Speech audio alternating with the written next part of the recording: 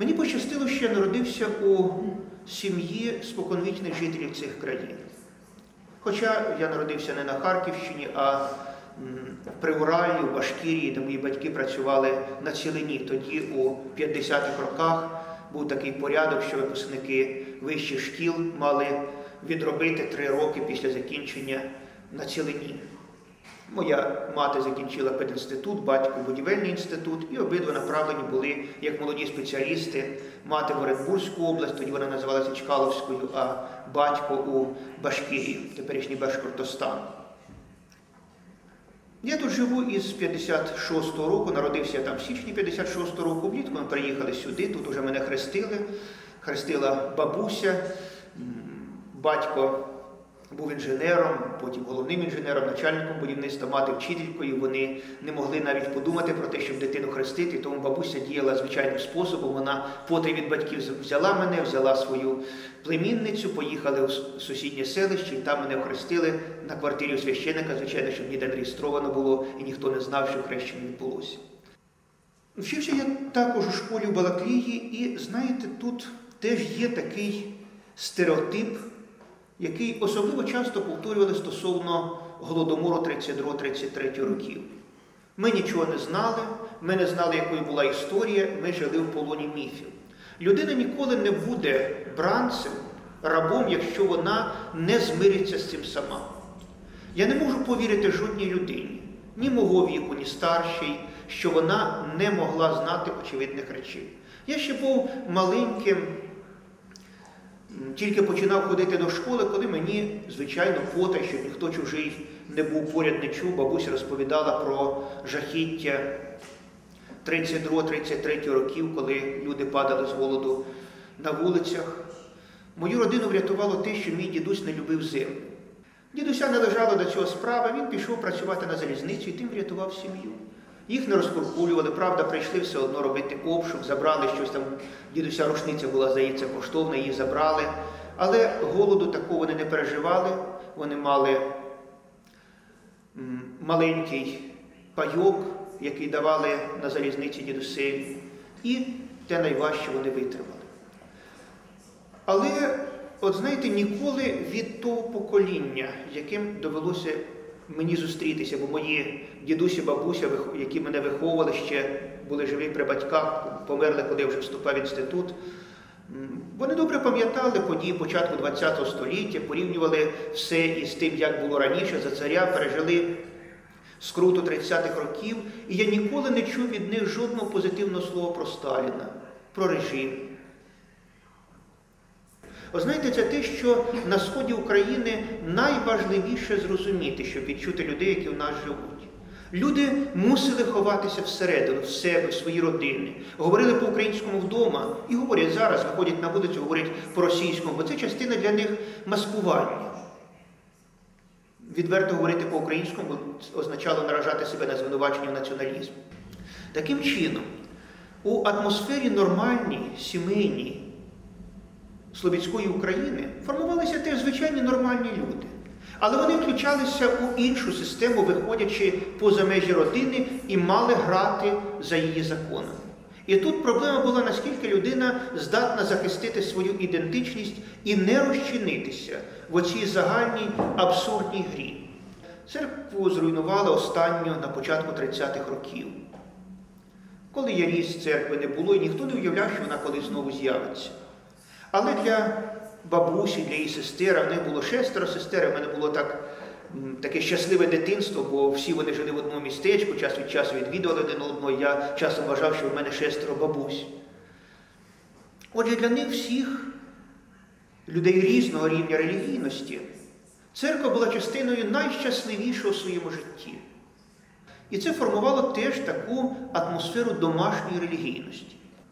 Після закінчення школи я вступив до, на філологічний факультет. У нас в родині говорили і російською, і українською мовами, але у мене було останнє покоління, яке на вулиці розмовляло між собою по-українському. Чому саме ми не такі, як офіційна культура представлена нам у школі? Чому наша мова знаходиться десь на маргінесі суспільства. Це було для мене особисто стимулом зацікавлення історією і вступу на українську філологію. Хоча відмовляли мене від цього всі, хто міг, і тим більше перед тим якраз зайняв перше місце в області на Олімпіаді, якісь іноземної мови. І чоловік на філфак це вважалося просто перекресленням свого майбутнього на той час. На філфаці я вчився із 73 по 79 рік, потім трішки попрацював у школі і повернувся, коли з'явилася вакансія на кафедрі у 81-му році. Я працюю викладачем, а тепер уже професором в Харківському національному університеті на кафедрі історії української літератури. Ну, це вже 30-й рік, уявіть собі. Я вступив на роботу на початку 80-х років, коли взагалі пройшов такий секретний наказ, за яким слово Україна українське не рекомендувалося вживати у пресі, а треба було писати про вітчизняний, радянський, батьківщину і тому подібні евфемізми вживати. Само собою, самі кандидатські роботи писалися тільки російською мовою.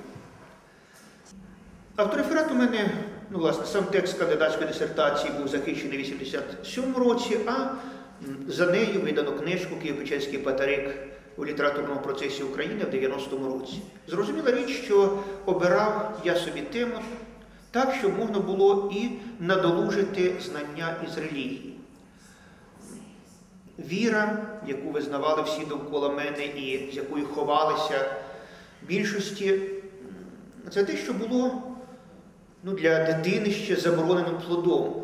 Добре, що якось я за це завжди буду вдячний батьку, і він навчив мене слухати західні станції, коли щось не писала наша преса, і тому я десь із радіо Голос Америки чи Свобода міг почути про церкву, віру, грошу проповідь, богослужіння, слухати на Великдень.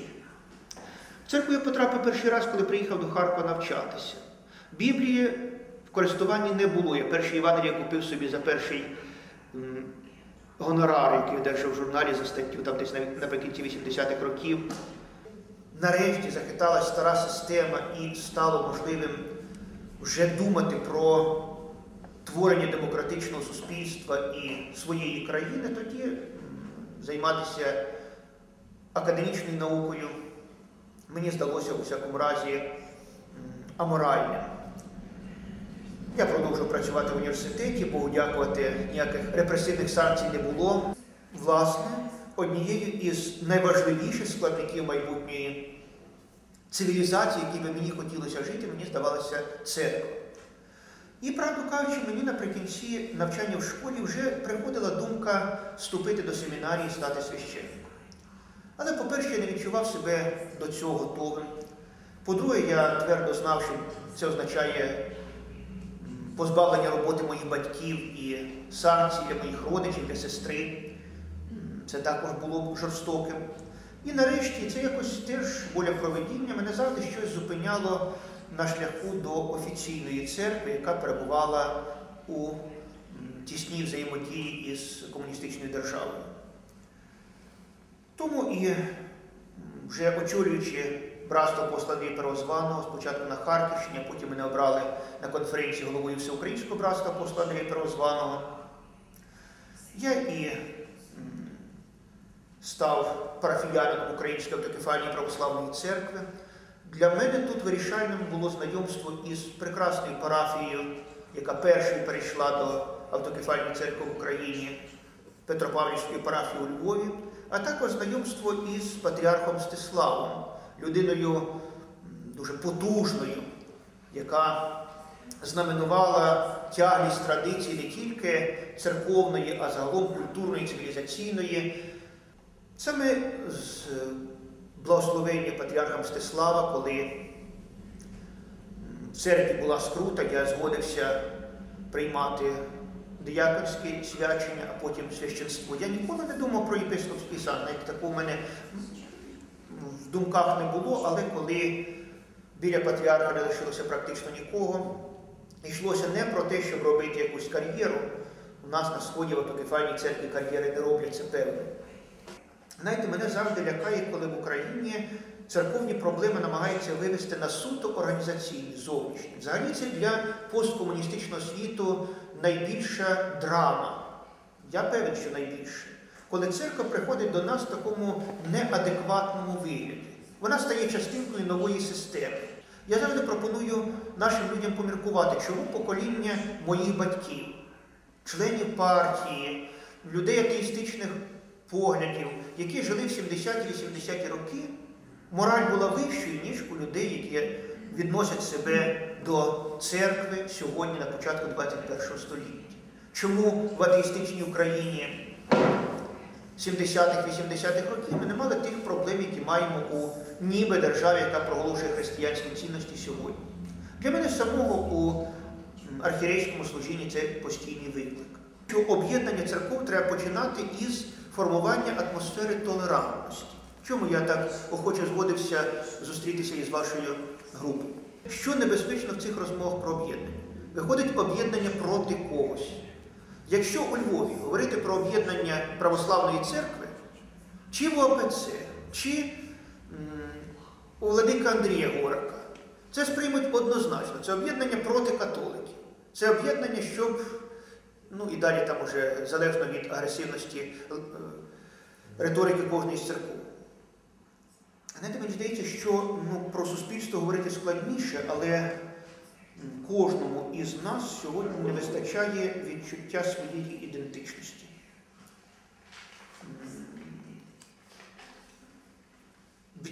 Браку повноти свого я. Ми виходили із суспільства, де кожен виховувався бути коліщатком і гвинтиком одного механізму. Я весь час говорив на зустрічах із церковними діячами Заходу, що проблема тут у нас і на Заході трішки інакша. На Заході проблема церкви долання людського індивідуалізму. На Сході, не тільки у нас в Україні, чи тим більше в Росії, але й в певною мірою в Польщі, в Чехії, Словаччині, Румунії, це проблема формування почуття людської гідності. Христос вчить нас любити ближнього як себе самого. Тобто передбачається, що ми маємо вміти любити себе самого. А ми цього не вміємо робити. Знов таки здається парадоксально, бо у нас вже теж суспільство індивідуалістів. Але ми стаємо індивідуалістами, не ставши особистостями. І ми шукаємо ерзац нашої особистості в якихось зовнішніх формах, ну, скажімо, у зразках топ-моделей чи політичних лідерів для когось, чи бізнесменів і так далі, тому подібне. І намагаємося уподібнитися до них. Прошу дуже молодіжні рухи, готи, еми і так далі. Це знов таки уніфікація, тобто вияв протесту проти якихось е, стереотипів, коштом прийняття цих стереотипів на себе. І коли повертатися до цієї теми про поєднання церков чи про подолання проблеми суспільства, ми нікуди не дінемося без цієї базової, базового кроку, першого, без покаяння. Але для людини, яка живе в церкві, покаяння, сповідь це таїнство, яке дає можливість духовної віднови. Чому завжди Великий Пісня є для нас весною. Я думаю, що це невміння каятися, невміння визнавати свої помилки є для багатьох у нас та для нас усіх, мабуть, є фундаментальні.